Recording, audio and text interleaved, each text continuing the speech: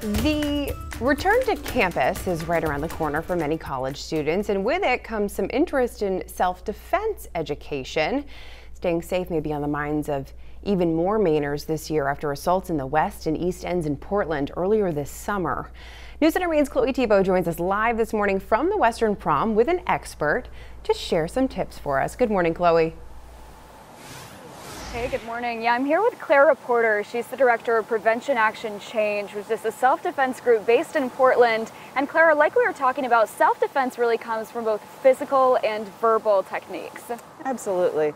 So we talk about the five fingers of safety. Think, yell, run, fight, and tell.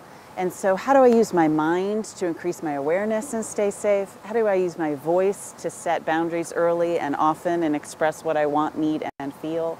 How do I use my body and my mind to avoid situations? And then body, if I need to fight, what are the tools that I need to do that? And finally, tell, which is all about self-care and resources if something does happen.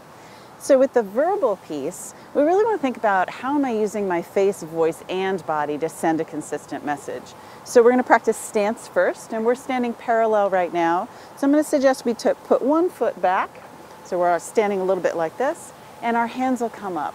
So this is a universal gesture of stop. If someone sees me in this position, they'll know that I'm more defensive, I'm not in an offensive position, and I can use this to set boundaries. So lower level, I might say things like, I'm not interested, or no thanks, or that doesn't work for me. And then if that is not respected, we'll take it up a notch. So let's practice three together. Let's start with no thanks. So no thanks. And then again, if they don't respect that, let's say together, no. No. And then if they really don't respect that, we raise it up even higher with a I said no. And let's do that together. I, I said, said no. no. Yeah, so there's three levels of setting a boundary.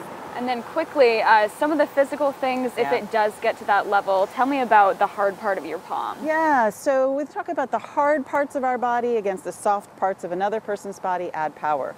So we're going to use our palm heel against the nose. And so using our hips to generate power, we'll have our hands up and really get that palm heel out to the nose of someone in front of us. So let's practice that with a yes, I can. And we'll do it twice. All right, and go.